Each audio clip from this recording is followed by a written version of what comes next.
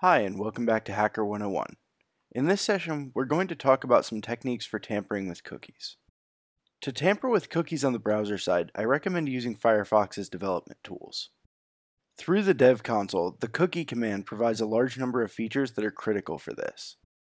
You can easily list, delete, edit, and add cookies to the browser for a given domain. If you're just looking to switch a flag, as in level 2 of Hacker 101 for instance, this really makes it painless and foolproof. However, this does lock you to Firefox, and if the cookie from the server changes, so does the cookie you have stored locally. To get around this, you can manipulate responses from the server instead. For instance, if you intercept a response and add or edit a set cookie header, this lets you catch it before it even makes it to the browser. Using Burp's match and replace functionality, available in the Options the Proxy tab, see the Burp 101 video, you can do this completely automatically. Simply set the type to response header and then enter an appropriate regex to match the cookie and its replacement. This is a technique I use on a huge number of projects, if only to remove HTTP only and secure from headers when I'm testing. This brings us to flags. There are two important flags when it comes to cookies in this context, secure and HTTP only. As a refresher, the secure flag prevents the cookies from being sent by the browser over plain text HTTP, and the HTTP only flag prevents the cookies from being read from JavaScript. This is something you will often find to be lacking, especially in applications which have not been previously tested, and it's often in scope for bounty programs. Many times you'll notice that the data is not immediately readable.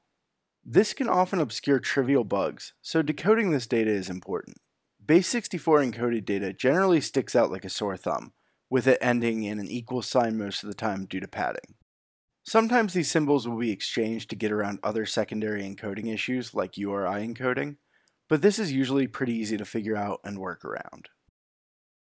Alternatively, if you see data all in the range of 0 to 9 and A to F, especially if it's all upper or all lowercase, this will typically tip you off that it's hex encoded. Burp has a smart decoder feature, which will sometimes determine and handle the decoding of these blobs, but it's by no means foolproof. I personally tend to just drop them into a Python instance and manipulate them from there until I get something usable. Here are a few common manipulations you'll want to try with cookies. Change individual bits of data and see what changes. This is especially valuable when dealing with an encoded binary blob, like in the case of encrypted cookies. It's also useful to try swapping or duplicating key value pairs in cookies. These types of cookies aren't very common anymore, but you'll occasionally still see them, and these techniques can allow you to pass through validation unchecked in many cases. If you find a cookie with 32 to 40 nibbles of hex at the end, it's quite likely that it's a hash.